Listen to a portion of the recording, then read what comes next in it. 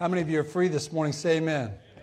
Uh, there's a lot to be grateful for, and as we've been in our study in Galatians, uh, it seems like they were struggling with this thought of being free and some other things that were grabbing a hold of their attention. And so we'll be in Galatians, if you'll turn there, chapter 3 this morning.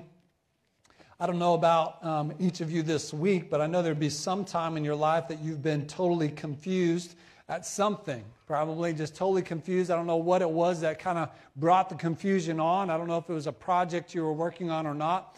Uh, but I was working on our house for Stacy and I about 10 years ago, and I took on plumbing, which I should not have because there's a Brown County test of if you can hold the pressure or not. Anybody had uh, to do plumbing before in Brown County? Anybody? Okay, a couple of you, and I was not prepared for what I was about to go through because I was very confused on why I was losing pressure and I couldn't find it, but finally we found it, and I was just overwhelmed. Anybody been there before? Just overwhelmed on a project and you're totally confused. And so this morning I want to have a little bit of fun with you. I want you to take your phone out real quick, all right? Take your phone out real quick. You might be seated by someone or you might be close to someone. Uh, but I want you to take either a selfie or a personal picture of your best confused face. All right? Your best confused face. All right? Take the best one. I thought about doing a photo competition with this, maybe giving away a door prize or something about that. No, we won't do that this morning. But your most confused face. All right, everybody look at the next person next to you and go, You look totally confused. Come on, a little bit louder than that. You look totally confused. I'm watching over here. Totally confused. There's a lot of things that bring confusion in our life, and a lot of times we're just a little confused, and then sometimes we're really confused. But here in Galatians, uh, there's some confusion going on. We've been talking about some of that, and some of that has been about whether salvation is by grace or is it by works, and is it a combination of the two, or how does that work? And we clarified that it is by grace and it is by faith that we trust in Christ. And even today, there's some confusion right off the bat in this chapter, in chapter 3. If you do not have a handout this morning, if you would, just lift your hand up. A couple guys in the back can give those to you. If you do not have a handout, I'd love for you to take some notes this morning. Just slip your hand up. Anybody? Okay? Uh, if you do, just, just get that. Those guys will help you out. I want us to be able to follow along, and not only to just follow along on Sunday, but I truly believe that throughout the week, there's one up front here, guys. One up front here, too, as well, Ed, right here. Uh, a lot of times throughout the week, I don't know how this all works for you, but it seems like God just kind of sets things in order in my life. He like puts things in order that I need on Sunday, and sometime throughout the week I get another piece of information that I need in my spiritual walk, and it seems like another day and another day and another day, and it just kind of all fits together. Are you with me? Say amen. And so it's something about Sundays that connect to the rest of your week. And I don't know how the Spirit of God will connect it all, but He just has a way of doing that in our lives. And I want us to be able to, and I want to be able to, experience this life of freedom in our series, Live Free. You see, we can all be totally confused, and maybe you'll uh, post that picture later today if you're. If you think you can handle it, and say, Today I was reminded that I can be confused, but God brings a lot of clarity through His Word. And we're free to continue. That's our thought today. We're free to continue. Say it with me free to continue. There's five things I want us to be free to continue in. And the first thing I want to bring up is the issue that's happening here in this passage. Do they truly walk by faith in His grace? That was, that was the thing that Paul was going uh, towards, and that's what he was trying to bring uh, the, the, thoughts around in this, in this third chapter that we're looking at today. Do we truly believe that we can be righteous before God? Many times we pump ourselves up after a worship service and we feel great. Don't you feel good right now? Because we've been in the presence of the Lord. We've been expressing our adoration and our, and our affection to Him for what He has done for us. And so we feel close to Him. But sometimes in our daily walk, we seems like that kind of deteriorates and we don't feel like we're righteous before God. But in this passage, uh, Paul's going to address how these things can be and how we can be righteous before God. I want us to realize this first thought, and it's not in your notes, but I'd ask you to jot it to the side. Your faith grows in God's grace. Your faith grows in God's grace. How does your faith going to grow? How is my faith going to grow? It's going to grow when it's in God's grace. What all does that mean? We're going to get into that a little bit. Jesus doesn't give us just enough grace at salvation to get us started and then ask us to just figure it out the rest of the way and send us on, way, on our way and expect us to do some things that are worthy of His grace. He does not do that. Our salvation, as we said, is, is a gift, completely unearned. There's a starting point of genuine faith, yes, but we're to grow in that grace and grow in that faith. Seems like somewhere along the way in our Christian life, that we start taking on the responsibility that it's up to me. Everybody say, It's not up to me. It's not up to you. God's grace is not dependent upon you, but God is asking you to step out in faith. And so when we look at being Christ like, is not depending on our good efforts. And Paul is going to address this in the very first couple verses, if you'll look with me here, verses 1 through 5. And I want you to feel Paul's um, story, and I want you to feel his, his life experience here. I want you to feel what it was like in this, this, this particular passage of what these God's people are going through. And he says, Oh, foolish Galatians. He says, I want you to know, Galatians, you're confused right now. You're confused. You're, you're not, you're not, you don't have it together. And he says, I'm going to tell you how you don't have it together. He says, Who hath bewitched you? Who has tricked you? Who has set, set this spell upon you? He said, You're confused. It's like you have a spell upon you that you should not obey the truth. How many of you want to obey the truth? Say amen. We want to obey the truth, but what is that truth? And here he says, You've, you've been misled, you've been confused. It says, Before whose eyes Jesus Christ hath been evidently set forth, crucified among you. He's basically saying, You've missed the message. Anybody ever miss a text message? You're like, Oh man, I forgot to reply. Well, they're missing the message here. He's trying to get them to see the message. Verse 2 This only what I learn of you. As I watch you and as I see you, it says, Received ye the Spirit by the works of the law or by the hearing of faith? It's just by simple faith. Which one was it? He's, he's asking lots of questions here. Are you so foolish? Are you so misunderstanding? Having begun in the Spirit, you began in the Spirit. Are you now made perfect by the law? Have you believed the lie? Here's the lie the lie is that you have to obey the law to receive God's blessing. That was what they're going after, and he's clarifying this with, with multiple questions. Verse 4 Have you suffered so many things in vain? If it be yet in vain, he says, Is this all worth nothing? Uh, the, the past, all you've been through, what is it all worth? And he says in verse 5 He therefore that ministereth to you. Notice these words. This is a great verse. Kind of brings a conclusion here. Um, he, therefore, that ministereth to you, and this is the Spirit. Everybody say the Spirit. The Spirit ministereth to you today. And not just today, but each day of your life. He ministereth to you and worketh miracles among you. How many of you um, long for some miracles in life? Say amen. I don't know what those miracles could be a small one, could be a big one, could be a lot of different forms of that miracle, but he said, He worketh miracles among you. Um, doth he it be by works of the law or by the hearing of faith. He says, I want you to know which one is it, and he says it's by faith, and we'll bring more clarity to that. In these few verses, I want us to see this that we're free to continue, and your fill in the blank is in faith. We're free to continue in faith. Don't just stop now in faith, but continue in faith. You're free to keep moving forward. Everybody say, move forward. We got to move forward in faith. We can't just get faith and say, okay, I'm going to use my faith for salvation. I'm going to stop there. But God has more steps of faith. We're stepping out in, in, faith even in these next weeks, getting ready for our outreach to the sportsmen of our community. We're stepping out in faith. We've been, we've been led by the Spirit, as it said even in these other verses, that we've been led by the Spirit to do something, and we're asking God to show us by faith what we should do and how we should do it so that we can reach someone for Him. You see, they missed the message. We don't want to miss the message. A couple clarifications. There's a difference between the principle of law and the principle of grace. Law is this that you are blessed and grow spiritually by earning or deserving it. The law of grace is this that you are blessed and grow spiritually by believing and receiving. Can you say believing and receiving? I don't know what you need to believe Him for, and I don't know what you need to receive from Him, but that is how you do it under grace. You fill in the blank this morning. God works with us under the covenant of grace. So we should not respond on the principle of law. When God is trying to give to us blessing and growth through believing and receiving, don't, uh, don't us as a person respond by trying to earn it or trying to be good, of, good enough for it or deserving of it.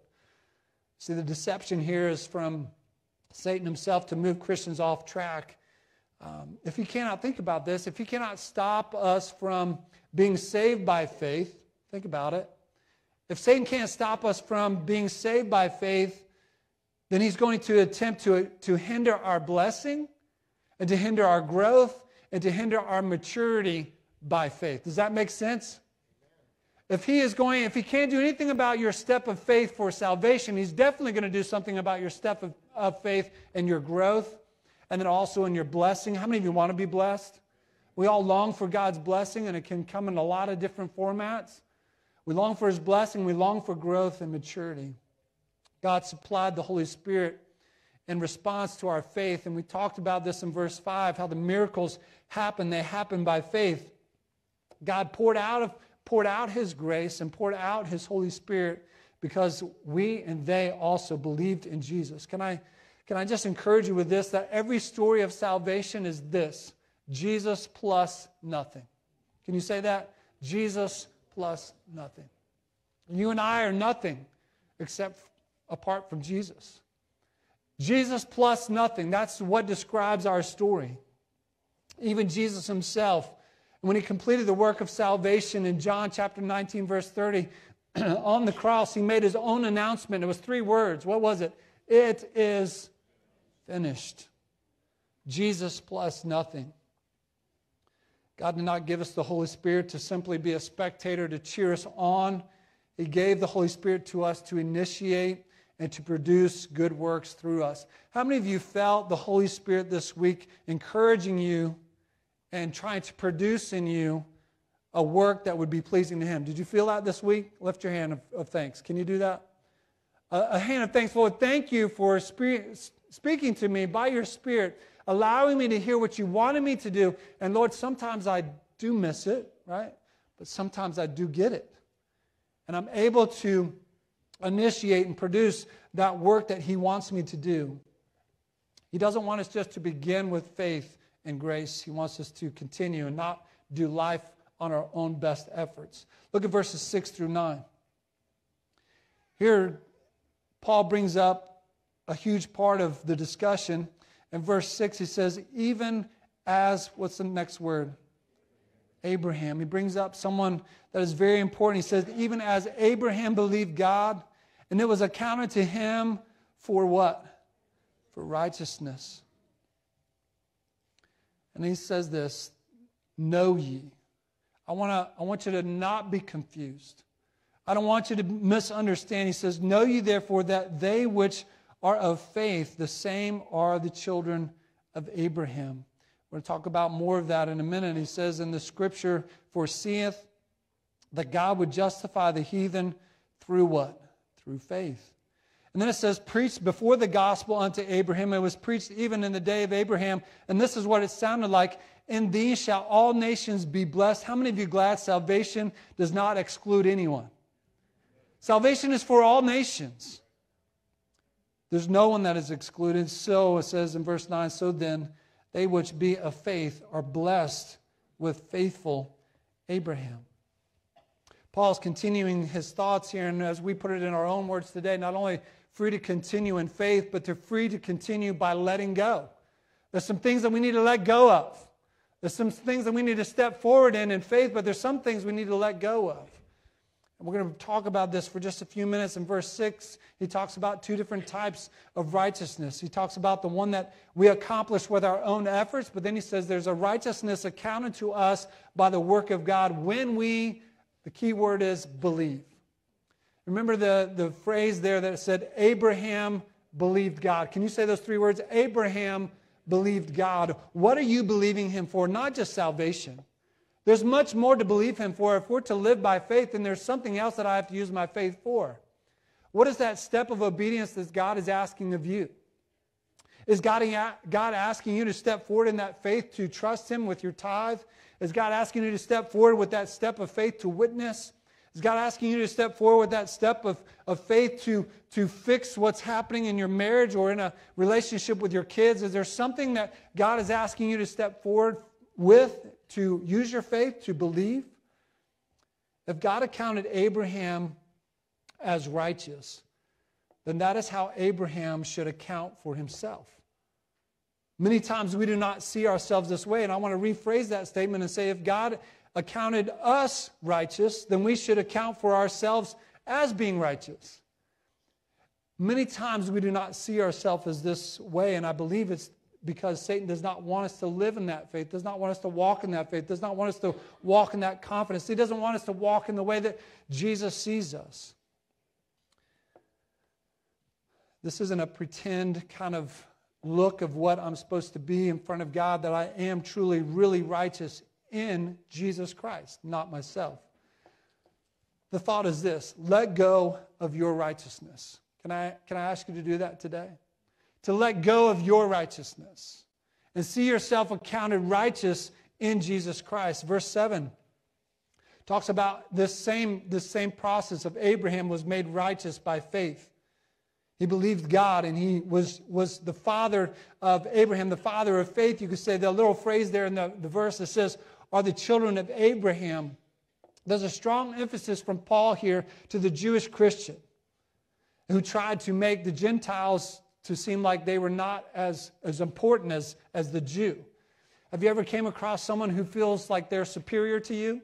Can you say, oh man? You know, you come across that person and they just think they're superior than you. And he says, There is no superiority. There is no Jew that's greater than a Gentile. I want you to see that, that, we're, that we're all connected to Abraham, not by genetics and not by works, but the link that we're connected by is by faith. Can you say faith? We're connected to Abraham. Listen to me. Look at me. You are connected yourselves to Abraham by faith. I don't know if you know a whole lot about Abraham, but when you study and you get into uh, his life, you are directly connected to Abraham. Does that not encourage you this morning? Can you say amen? You are directly connected to Abraham in the promise of it. I want us to see a couple things there in a moment. But there is no superiority, the, the link is faith. A thought to ponder here, and this is maybe for our young people and our kids that are in the worship service today. See that when people believe um, they believe God accepts them because they come from a Christian family. God doesn't just accept you because you come from a Christian family. Think about this God is a father, not a grandfather. So you have to make him, it's your faith that makes him your father.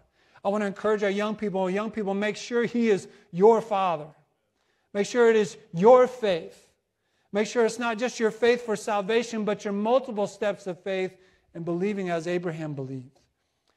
Are the children of God this, this same, the same emphasis is uh, from Paul here that they are the children of Abraham. They are not a second class Christian, they are the same as the Jew.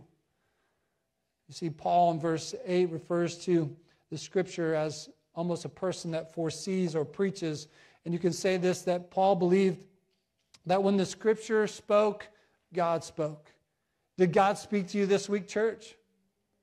That's a little bit light this morning. Did God speak to you this week, church? He spoke to you because God works speak when God's word speaks, he speaks directly to you. God's word speaks when we read it. Paul is saying here the scripture is the heart and the soul of God. Being right with God through faith. In verse 9, as we looked at this, Paul was writing to to the Galatians to respond to them and to remember that the law of Moses is important. They had the law of Moses for about 1,500 years. Everybody say that's a long time. It's a long time, man. Generation after generation, all programmed, do life by the law, do life by the law, and now we're changing it up. But I want you to notice something. Paul says, okay, here's Moses, but 430 years before Moses was who? Abraham. And I want to, he said, he goes to the point of Abraham and he's trying to drive home this point of, of this is that we live under the law of grace, because many of them were struggling to break away from the law of Moses. Can we say this together that faith lived before the law of Moses? Did not Abraham live by faith, church? And so faith was before the law. And so I want us to see what Paul is really going after here is this is that God's plan of redemption didn't start with the law, but it began with God's covenant promise to Abraham. Do you see the heart of that? It's not law, it's the promise. Everybody say the promise. The promise that was given to Abraham, that is where it started. It didn't start with the law. Law brings clarity, yes. But what happened was it was the covenant of the promise. How many of you have had major promises given to you from someone and they fulfilled them? Can you say amen? I've had a promise fulfilled, but we've all had a promise broken. But God says, My Abraham promise will never be broken. I began with this covenant of promise. So, in, in, in, in kind of summary of that thought, I want to say this we need to let go and we need to lean into grace. There's some things we need to let go of and we need to lean into grace. They were, they were holding on to the law, they were holding on to their righteousness, they were holding on to a lot of different things. And you are not superior, and I am not superior. We are all just children of God, and we're stepping out in faith, and we're believing God, and so we are connected to the promise of Abraham. Third thing is this verses 10 through 14. We're free to continue. I want to give you the answer to that in just a moment, but I want you to see the verses first. Verse 10 For as many as are of the works of the law are under What's the next two words? The curse. For it is written, Cursed is everyone that continueth not in all things which are written in the book of the law to do them. So he says, all, all things, and you got to do all of these things. Verse 11, but that no man is justified by the law in the sight of God. No man is made right before God by keeping the law in the sight of God. It is evident. Everybody say it's evident and that next phrase, this is one I want you to hold on to this week. The just shall live by faith. Can you say that with me? The just shall live by faith. As I kept looking at that phrase, I was like, God, help me to understand that phrase more. And as you look at these next couple verses, it brings some more um, insight to it. And we want to talk about this. It says, The law is not of faith, but the man that doeth them shall live in them. Here's some more insight. Here it says, Christ hath redeemed us from the curse of the law, being made a curse for us. For it is written, Cursed is everyone that hangeth on a tree, that the blessing of who? The blessing of Abraham might come unto the Gentile. Are you a Gentile this morning? You are. That we are the Gentile through Jesus Christ, that we might receive the promise of the Spirit through, and what's the last word? faith. So Paul is saying here that we are under the curse. God never intended the law to be the way that we find our approval before God. God never intended for us to uh, find our approval before God by keeping the law, but no, He, he made this, and when He made the law, He also gave an atoning sacrifice along the sacrificial system, looking forward to what Jesus would accomplish on the cross. It's important to see the word all and do here. Uh, for God to approve you on the basis of the law, you first had to do it. You couldn't just know it. You couldn't just love it. You couldn't just teach it. You couldn't just want it. You had to actually do it. And secondly, you had to do it um, in all things, not some things, not after you're 18 or not after you're 40 years old, but you had to do it all the time in every age. And in verse 11 and 12, there's a very specific verse that is quoted here in Habakkuk 2 4. God is, is quoting in the, in the New Testament three different times this phrase that we looked at, the just shall live by faith. In Romans 1.17, I think this is so cool, the emphasis in this particular chapter is on the word faith. So I'm going to read the, the, the phrase and I want you to yell out faith. The just shall live by that's where the emphasis was in Romans chapter 1, 17. When you go to Hebrews 10, 38, it was on a different word, and that was the emphasis of live. So I want you to shout that out, that one out. It says, the just shall by faith. And then Galatians 3.11, the emphasis was put on the, uh, the word just. And so the what? The just shall live by faith. This word redeemed, this word just, the word just meaning approved. Everybody say approved. to be just or approved of God or before God, you have to do it in a life of faith. So the just live by faith. And so if you're going to be approved of God or justified before God, you're going to need to use your what? Your faith. Not just for salvation, but in your daily walk with Him. And like we said from the beginning, Satan is going to try to keep you from using your faith as you walk with God. If you, if you use it for salvation, that's great. But now I'm going to try to stop you because look at this word redeemed. Redeemed or just or justified uh, buying back or purchasing out of. I want you to catch this this morning. It isn't just about rescuing, it's paying the price of the rescue. See, redeem comes from uh, the practice of ancient warfare. If I can reflect with you a little bit about this, says, uh, uh, if you read about this, says that the battle of the victors was to capture the defeated, right? keep the defeated until those who, who they originally came from want to buy them back. And so the, the ones who were maybe not as important, they would sell them as slaves, but those who were important, they would wait until and hold them for a ransom until the, to the homeland had raised enough funds to re, the required price to set them free. See, the process was called redemption. Everybody say redemption. That's the process, and the price was called the ransom. Even this I found.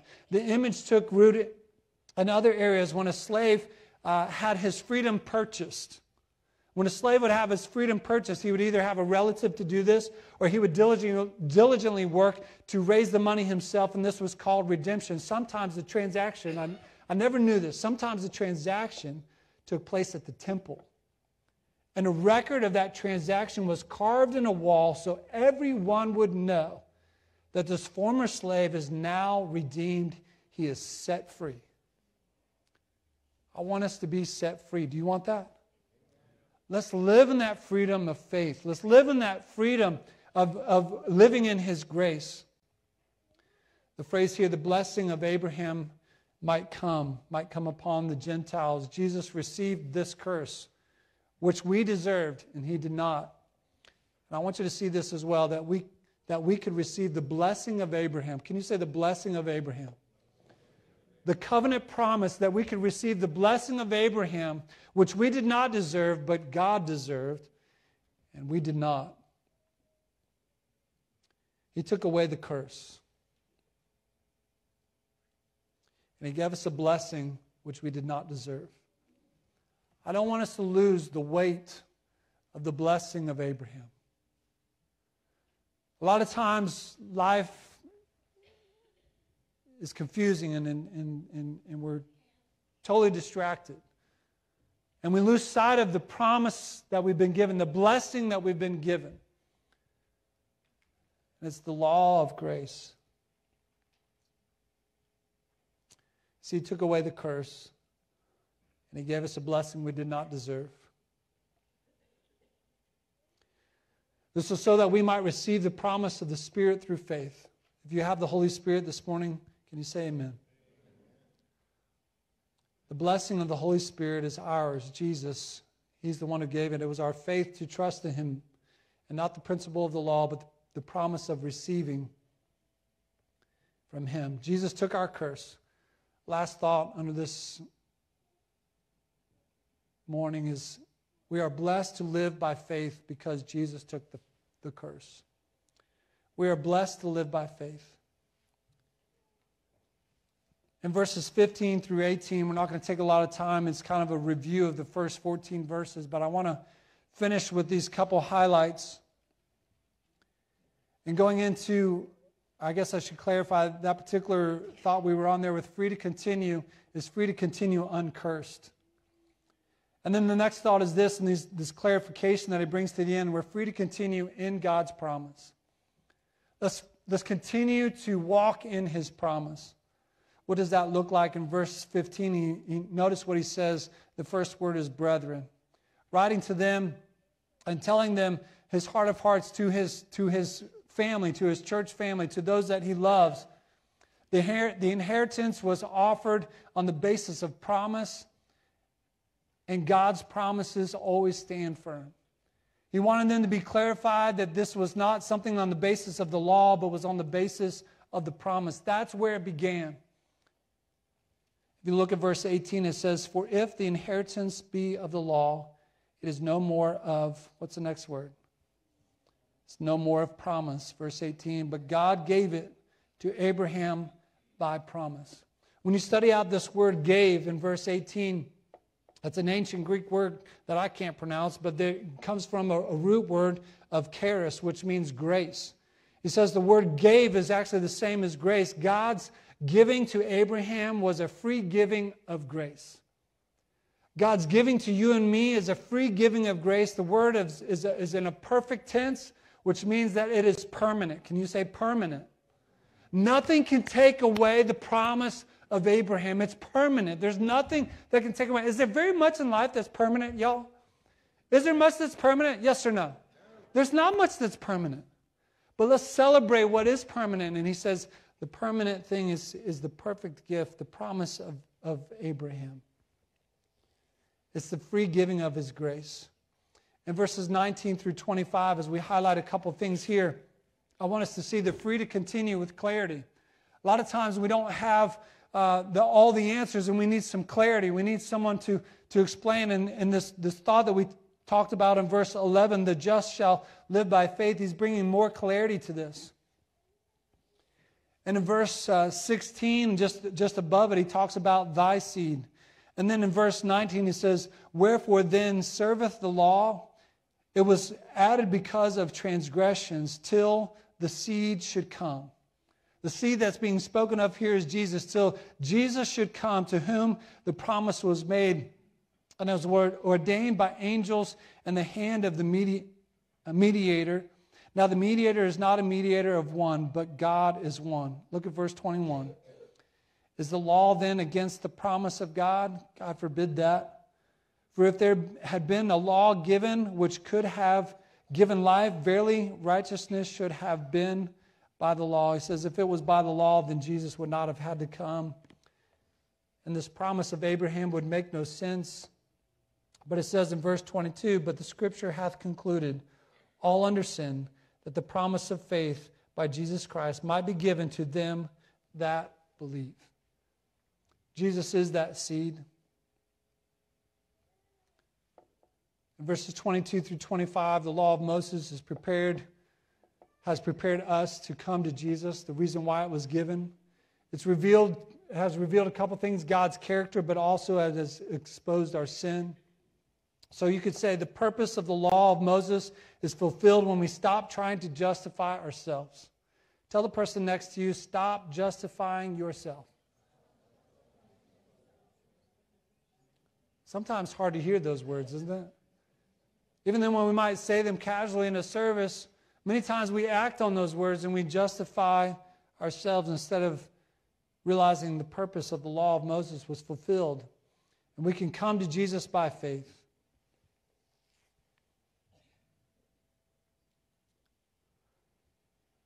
I want us to see this little phrase here in verse 26, 27, 28. Ye are the children of God by faith in Christ Jesus. For as many of you as been baptized into Christ have put on Christ. There's neither Jew nor Greek. There's neither bond nor free. There's neither male nor female. For ye are all one. Can you say all one? We're all one in Christ Jesus. That if ye be Christ, then are ye Abraham's seed. You are connected directly to Abraham and the blessing and the promise, and heirs according to that promise.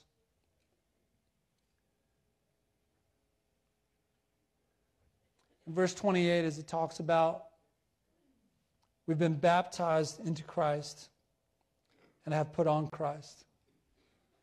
A lot of times, we're pretty sufficient with just being splashed, splashed with a little bit of Jesus, or being splashed or um, sprinkled with a little bit of Jesus, or dipping a little bit into Jesus. But to be totally immersed into Jesus, that's what He wants.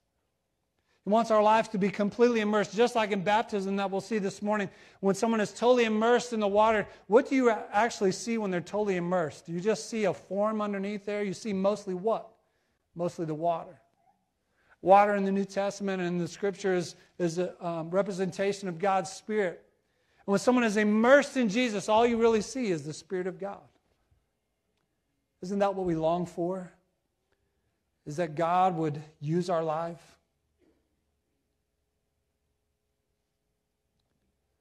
You know, in verse 28 and 29 talked about Paul clarifying here that there's no difference between the Jew or the Greek. There's no difference between the bond and free. And sometimes we draw lines, don't we? We draw lines in places that they shouldn't be drawn. And he says in Jesus Christ, there is no more lines, church of Galatia. Everybody say, there's no more lines. Stop throwing dividing lines. He said, we are all one in Christ Jesus. Sadly, sometimes we do draw those lines. And then our last thought this morning, I ask the instruments to come and make their way. I want you to skip back to Galatians chapter 2.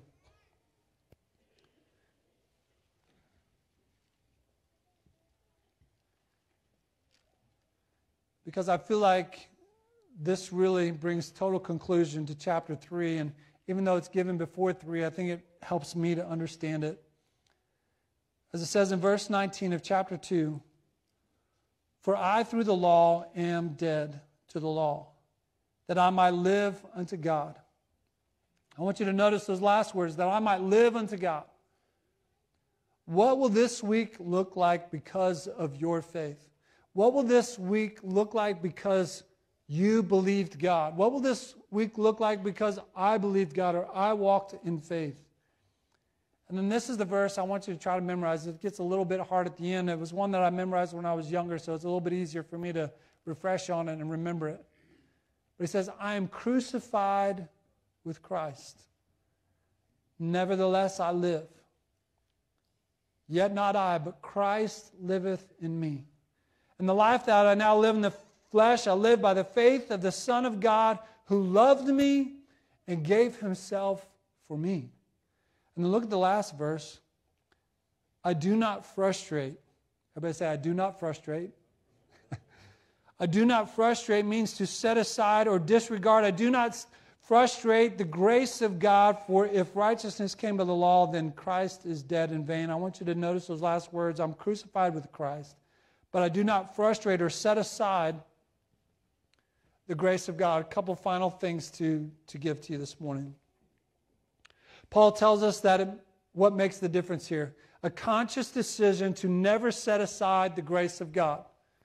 Here's the, here's the funnel. He says, I want you to never set aside the grace of God. A conscious decision this morning to never set aside the promise or the, the promise of Abraham, the covenant of Abraham, the grace of God. And here's the thought a life of faith is a life that holds on to grace. A life of faith is a life that holds on to grace. Can you say that with me? A life of faith is a life that holds on to grace. I don't believe you this morning. A life of faith is a life that holds on to grace. Will you hold on to, and will I hold on to grace this week? Will the just, will the approved, will they walk by faith?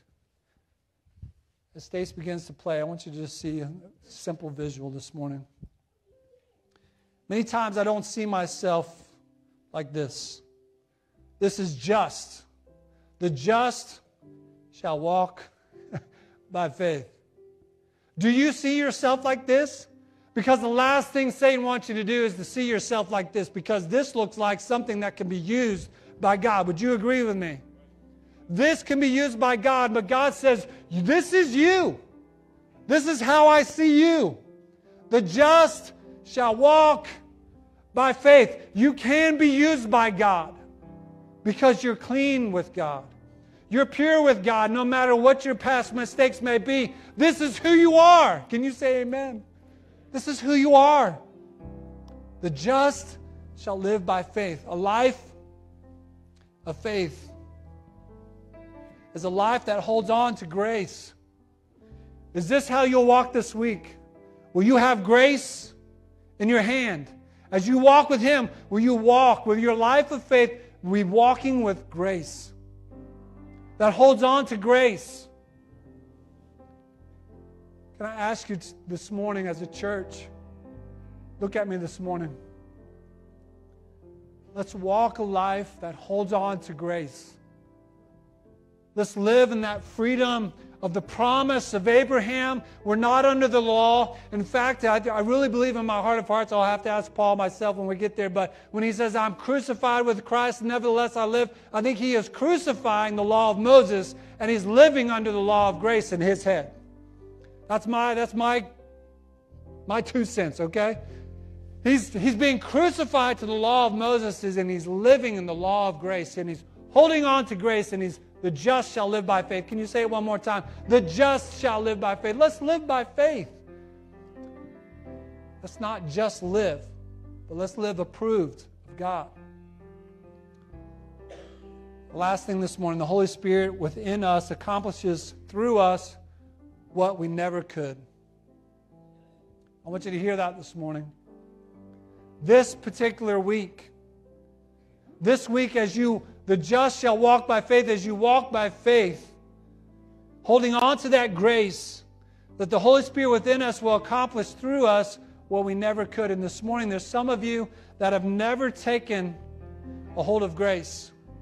You're looking at grace from a distance. You've never trusted Christ. There's never been a moment where you've deliberately asked Him to be your Savior. And you're looking at the grace and you're saying, man, that looks good. Everybody say, that looks good. Man, that looks good. I would like to look like that before God, approved of God. And sometimes we come right up to the grace of God and then we pull away. And this morning, maybe you've never trusted His grace and you've never picked it up, and the just shall live by faith. This morning, reach out and pick up that grace and say, I want the grace of God on my life. I want the unmerited favor of God in my life. I want His grace and His mercy. So, the decision this morning what will you do? Will you see yourself as righteous? choosing to see what God sees. The just, that's who you are. And shall you live by faith? Where am I trusting God to use me this week? If you've never picked up God's grace, will you pick it up this morning? In this moment of decision and response, would you bow your heads, close your eyes for a moment? I'm going to ask you to go ahead and stand this morning with your heads bowed and eyes closed. I'm going to ask that this morning you step out right now.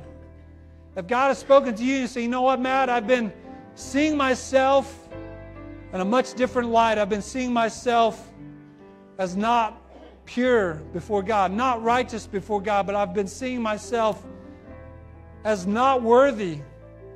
And I need to start walking in faith and holding on to grace. Would you step out this morning? We say, God, help me as I walk with you. That I would see myself as you see me, that I would see myself as just, that I would see myself as approved before you. Would you step out this morning? Our church family, would you step out this morning? Whatever God's spoken to you about, would you come and make a prayer here at the altar? Would you pray there in your seat? I, I encourage you always to come to an altar to pray. Noah built altars. Moses built altars. Abraham built altars. I think the church of today needs to build altars. And there's one here for us to use, and I'm asking you to, to use that in your daily walk, in your daily life. This morning, maybe you've set down grace and you need to pick it back up. I don't know if you're here this morning and you've never asked Jesus to be your Savior. That you'd let someone take the Bible this morning and show you the scripture about how that you could trust in His grace that you'd be approved and accepted of God in your walk with Him. If you say, Matt, that's me this morning, I, I don't think I've ever asked Jesus to be my Savior, and I have questions about that. Would you just slip up your hand this morning? I'm looking on my right hand side. Would you just lift up your hand and say, Matt, pray for me? Anyone on the left hand side would say, Matt, pray for me. I don't I have questions about salvation. I have questions about eternal life. Anyone like that this morning? I'm going to make a prayer. I'm going to ask you to worship this morning, but I'm going to ask you to pray this morning. Maybe you need to pray for yourself. Maybe you need to pray for someone else. I don't know what God would have you to do, but would you be obedient this morning to step out? That we would walk by faith in His grace this morning. Lord, we love you today. We praise you today. We thank you for your word today. We thank you for Paul, God, and thank you that. Um, he was able to go to that wilderness in Arabia and learn all that you had him to learn. And he was able to write these these uh, letters to the churches, God, to give clarity to them. And if those churches needed clarity, I know we need clarity. And so, God, I thank you for the morning. I thank you for your word. I'm glad you always speak through your word. And doesn't matter who the messenger is, God, you always speak. May we live by faith this week. May we uh, be just and approved before you. May we uh, do that by doing what Abraham did. And when Abraham believed God, it was accounted unto him as righteousness, approved of you. So, God, may we be obedient in our walk to you this week. Uh, use us, we pray. In Jesus' name, amen.